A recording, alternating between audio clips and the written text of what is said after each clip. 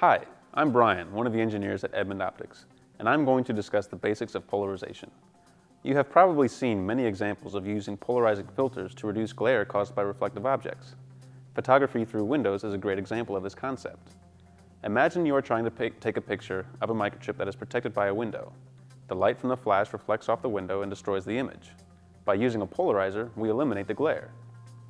In addition to reducing glare, we can use polarizers to show stress in a transparent object, such as a pair of eyeglasses. In order to understand these polarization examples, we need to develop our understanding of polarization. First, we must consider the nature of light as a wave. While light is traveling, it is oscillating. It can oscillate up and down, side to side, or any way in between. Polarization state describes the orientation of the wave's oscillation in relation to the direction of travel. If the propagation and oscillation are in a single plane, we call it linearly polarized light. If the light's orientation changes over time in a helical fashion, we call it circularly polarized light. Linear polarization states are often referred to as S and P. These are references to the plane made by the light wave and the plane of incidence. Rays that are oscillating parallel to this plane are P, and those oscillating perpendicular are S. These originate from the German terms for perpendicular and parallel, senkrecht and parallel. A common mnemonic for remembering the difference is to think P polarized as plunging into the surface and S polarized as skipping off the surface of incidence. Most light sources, like LEDs and incandescent light bulbs, are randomly polarized. You can easily filter a randomly polarized light source to allow only a specified polarization state to pass using a linear polarizer. The light exiting a linear polarizer will be polarized in the direction of the transmission axis. Polarizers can be used in pairs for attenuation. If the transmission of two axes are parallel, the transmission is maximized. If they are perpendicular, commonly called crossed, then transmission is minimized, because we are now effectively filtering out all possible polarization states. By varying the angle between the transmission axes, we can achieve varying levels of attenuation. It is common to specify the ratio of parallel to cross transmission of linear polarizers. This is known as the extinction ratio and is typically normalized. An example specification is an extinction ratio of 10,000 to 1, meaning you have 10,000 times more transmission for p-polarized light than s-polarized light.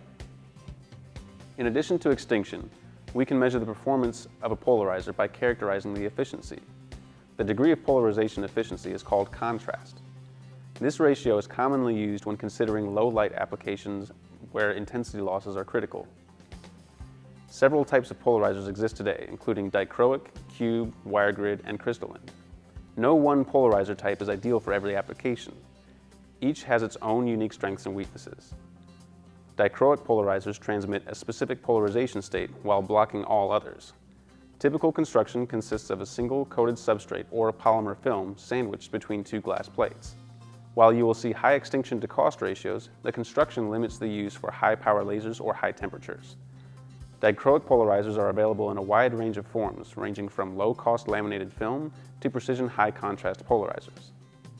Polarizing cube beam splitters are made by joining two right-angle prisms with a coated hypotenuse. The polarizing coating is typically constructed of alternating layers of high and low index materials that reflect S-polarized light and transmit P. The result is two orthogonal beams in a form that is easy to mount and align. The polarizing coatings can typically withstand high power density, However, the adhesives used to cement the cubes can fail. This failure mode can be eliminated through optically contacting.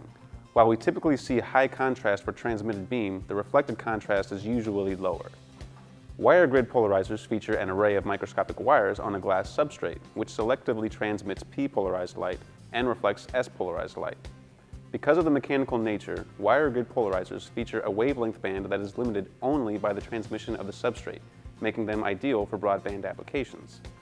Crystalline polarizers utilize the birefringent properties of the substrate to alter the polarization state of the incoming light.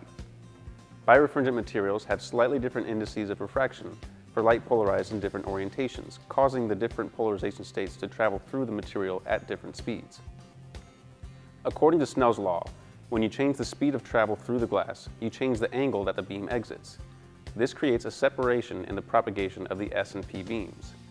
Wollaston polarizers are a type of crystalline polarizer that consists of two birefringent right-angle prisms cemented together such that their optical axes are perpendicular. As light passes through the polarizer, a symmetric deviation between the fast and slow axis rays is created.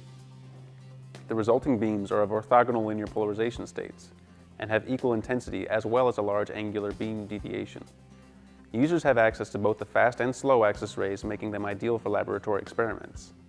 In addition, the high damage threshold of crystalline polarizers makes them ideal for laser applications. Now that we have covered the basics, let's return to the original applications. First, we showed how using a linear polarizer reduces glare from a highly reflective surface. Why did this work? By using the linear polarizer, we are controlling the direction of the reflected light we are allowing to pass. This reduces the unwanted reflections and eliminates the glare. Additionally, we showed how we can use a pair of polarizers to see stress in a material, such as a pair of eyeglasses. Why did this work? Stress in a material causes birefringence and will change the polarization state of light as it travels through an object. Since we know that we should effectively block all light between two crossed polarizers, we know that stress in the object has caused the change. There are many other ways to use polarization techniques to your advantage in optical systems, if you are interested in learning more advanced topic, topics in polarization, please continue on to our wave plates and retarders video. If you have any additional questions, our technical support staff is here to help.